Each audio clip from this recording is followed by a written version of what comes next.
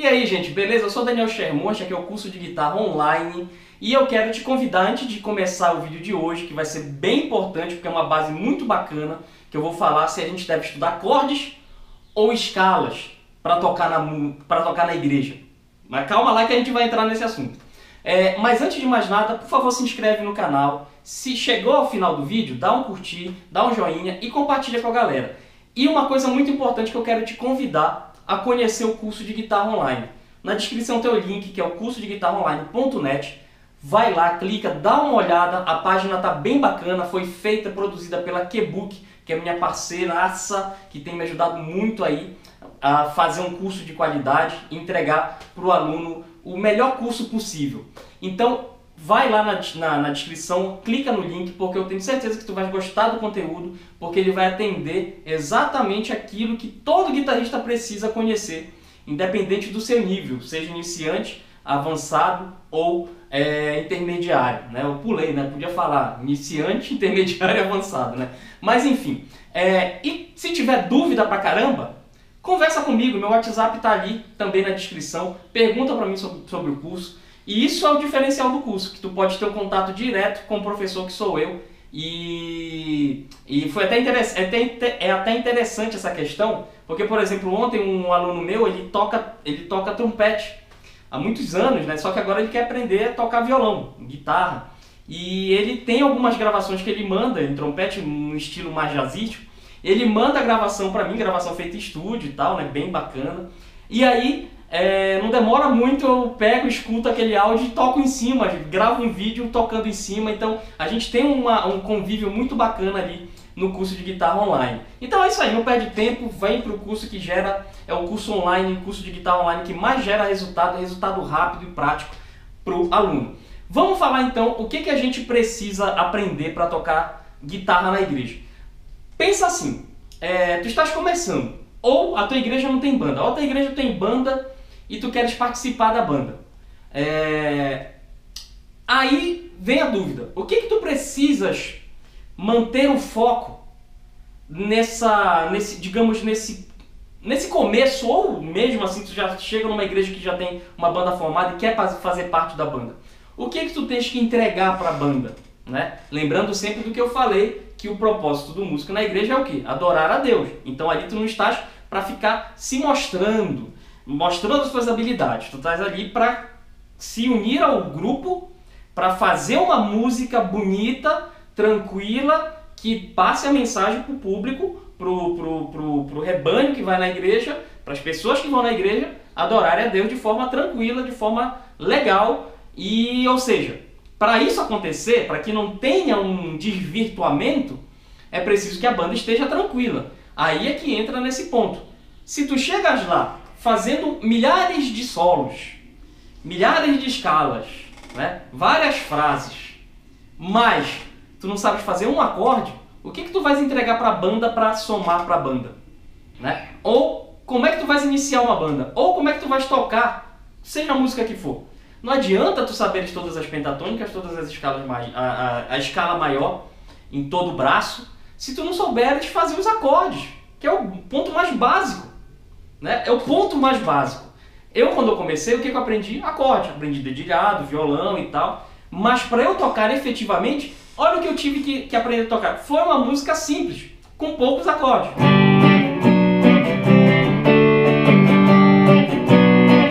Na época eu tocava sem palheta.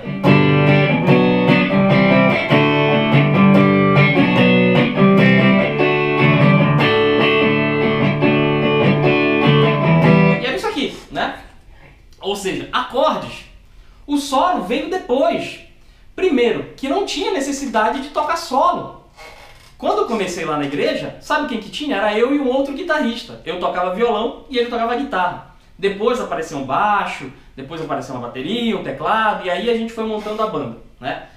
Basicamente só de adolescente, né? Era bem interessante. Mas enfim, o ponto alto para tu conseguires ter base para entrar na banda na igreja é conhecer acorde. Não adianta, por exemplo, vou falar de uma outra experiência minha.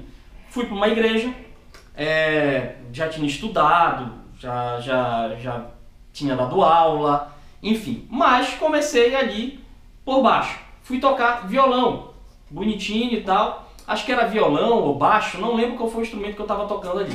Mas que aconteceu? Tinha um menino que tocava guitarra. O menino estava estudando, pagando aula numa escola, de certa forma conhecida da cidade. É... O menino tinha guitarra, tinha pedaleira, tá? Tinha palheta, tinha, tinha aula, tinha professor. Só que uma vez a gente tocava com fone lá. O que aconteceu? Eu pedi para aumentar o volume da guitarra. E o que aconteceu? Eu percebia. Primeira coisa que eu percebi, a guitarra estava desafinada. Desafinada. Pois é, por incrível que pareça, a guitarra estava desafinada. E isso o menino estudando numa escola de música boa, né? Boa. É, depois eu percebi que ele não tocava acorde nenhum. Mas nada. Zero. Nadinha. E outro, sabe o que ele ficava fazendo? Além da guitarra estar desafinada, ele ficava.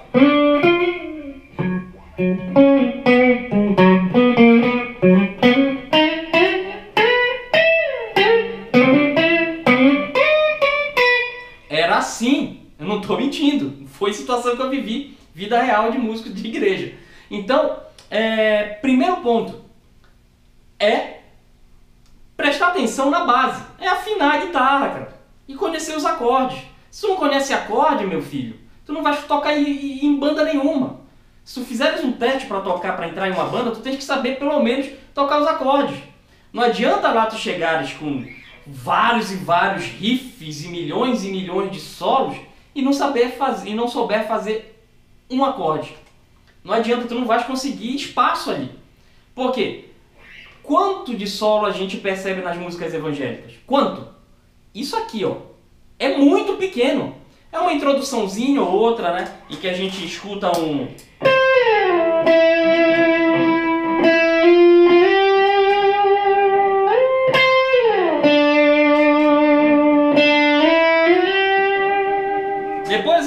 A guitarra vem aqui, ó.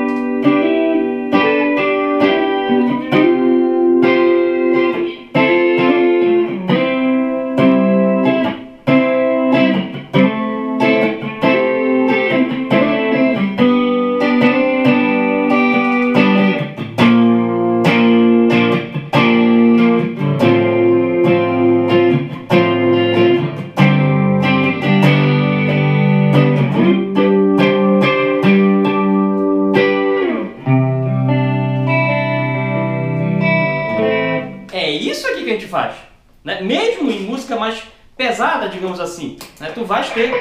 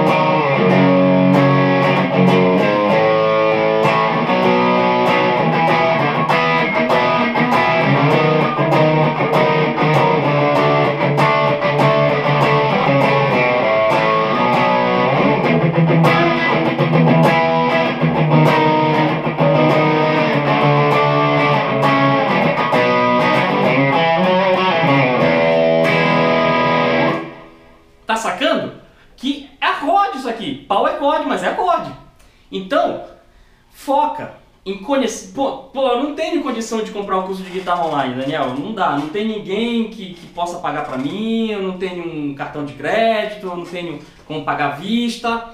É, e eu não sei como é que eu faço para estudar. Não sabe, não tem jeito, sabe? Não tem como investir em ti nessa questão da, da música. Prioriza os acordes, cara. Prioriza os acordes, que isso vai te garantir tocar. É, é simples assim. Então não fica muito preocupado com os licks, com os riffs, com não sei o que mais. Te preocupa em tocar os acordes. É isso que vai fazer a diferença e isso que vai te dar a possibilidade de poder servir bem dentro da igreja. Que é o ponto alto né, do, do da vida cristã. Servir. Então, lembra bem do papel do músico na igreja. Ele tem que servir, ele tem que dar aquilo de, de forma gratuita, obviamente, porque ali a gente é, somos todos voluntários, e de forma bacana, que não atrapalhe o andamento do culto, que não atrapalhe o momento que, poxa, tem gente que passa a semana ali cheio de problema e tal e vai lá para a igreja para ter um momento bom, para ter um momento de tranquilidade, de paz, de serenidade, de, de, de conforto, de consolo e de inje, injeção de ânimo para poder seguir a outra semana. Então, pensa que tu não estás ali para mostrar a tua habilidade, nem para mostrar os teus licks, os teus riffs, os teus solos, mas sim fazer uma base para cantar, todo mundo cante bonitinho, sem atrapalhar o sossego das pessoas que estão ali. Então tem consciência disso, que aí sim vai fluir melhor. E aí o pessoal vai acostumando com a ideia de músicas mais bem elaboradas, porque ele sabe que ali vai ter uma banda que vai fazer, vai cumprir o papel dela dentro da igreja. Ela não vai, ele, a banda também vai ter confiança de que o guitarrista ele vai fazer o que a música está pedindo. Ele não vai ficar solando que nem um desesperado. Ele não vai ficar criando vários leaks na hora. Ele não vai querer dar uma de, de slash ali no palco e pá, não sei o que. Não. Ou, vai, ou de Juninho Fran, ou de Roger Franco, ou de Cacau Santos ali em cima do palco. Ele vai cumprir o que a música está pedindo. Se a música está pedindo acorde simples, faz acorde simples. Se a música está pedindo um riff mais pesadinho, faz o riff mais pesadinho. Mas cumpre o papel. E lembra, o ponto-chave é aprender acorde. As escalas, é o que eu estou falando, se tu não tem condições de ter um curso, né? Mas dá, faz um esforço porque vale a pena. É um investimento muito baixo para um retorno muito alto, né? Fazer o curso de guitarra online. Então, é, não tem condições mesmo, tá? Prioriza os acordes, prioriza os acordes, porque aí tu vais ter resultado. A escala, é óbvio que vai precisar, é óbvio que precisa dela, é óbvio que tem que estudar as escalas, porque senão tu vai ficar preso somente a um universo que é bem pequeno. Então tu tens um universo enorme. Então estudo musical é sempre assim, a gente chega no topo de um, de um assunto, a gente tem que abrir uma tampa para partir para outro assunto, vai chegar no topo desse assunto, abre outra tampa para ir para outro assunto, até que chega uma hora que tu chega lá no universo inteiro e consegue visualizar a coisa como um todo, e aí sim fica fluindo a coisa bacana na guitarra, né, na música, enfim. É muito assunto, é muita coisa, mas fica aqui a minha pequena dica para aqueles que são guitarristas dentro da igreja. Eu acho que essa é uma dica que se tu seguires a risca, tu vais ter muitas tu, vai, tu vais ter muitas oportunidades dentro da igreja. Oportunidades de fazer a coisa bem feita. E isso gera uma satisfação muito grande, uma satisfação pessoal bacana porque tu te sente que está fazendo algo de bom. Né? Então isso é legal. O papel da música também é esse. O, a, o papel da arte é essa também. De proporcionar algo bom. Né? Então é isso daí. Esse é o vídeo de hoje, essa é a dica de hoje, o episódio número 2 da série A Guitarra na Música Evangélica. Espero que tenha ajudado. Segue esses conselhos porque eu tenho certeza que vai te ajudar muito e passa esses conselhos pro pessoal da tua igreja. Porque eu sei o que eu estou falando, sabe? Não é orgulho nem nada, mas é porque é muitos anos, cara. Eu passei muito tempo ali dentro, vi muita coisa e eu te garanto que se tu seguires essas dicas, tu vais evitar vários problemas, várias brigas e várias desavenças e, e principalmente nos ensaios. é, quem, quem, quem é de igreja sabe do que eu estou falando. Né? Ensaio dentro da igreja é complicado, né? Sempre tem um ali que é não sei o que mais, é não sei o que. Então, para evitar confusão, cumpre o teu papel, toca os acordes bonitinho e já era. Bom, o vídeo ficou meio grandinho, mas fica aí dado o recado e novamente te convido a conhecer o curso de guitarra online, tá? Isso tudo que eu estou falando, dos acordes e tal, tu aprendes logo nos primeiros módulos do curso, né? Nos primeiros não, né? Mas ali quem faz o módulo 1 até o 12 é para iniciantão mesmo, para quem está começando bem do zero. mas do 13 em diante tu já vais ter contato com vários acordes, conhecendo o braço, sabendo explorar bem a guitarra como um todo e, enfim. É isso aí, te convido a conhecer o curso de guitarra online, curso de e também te convido a baixar o e-book gratuito, e-book de como tirar música de ouvido, que são dicas que eu uso até hoje para tirar música de ouvido. E ó, funciona, viu? Dá muito resultado seguir essas dicas. Então é isso daí, se inscreve no canal, se gostou dá um joinha e deixa o teu comentário que é muito importante para eu saber como é que tu estás pensando, o que é que tu pensaste sobre aquilo que eu falei. Beleza? Um abraço e até amanhã.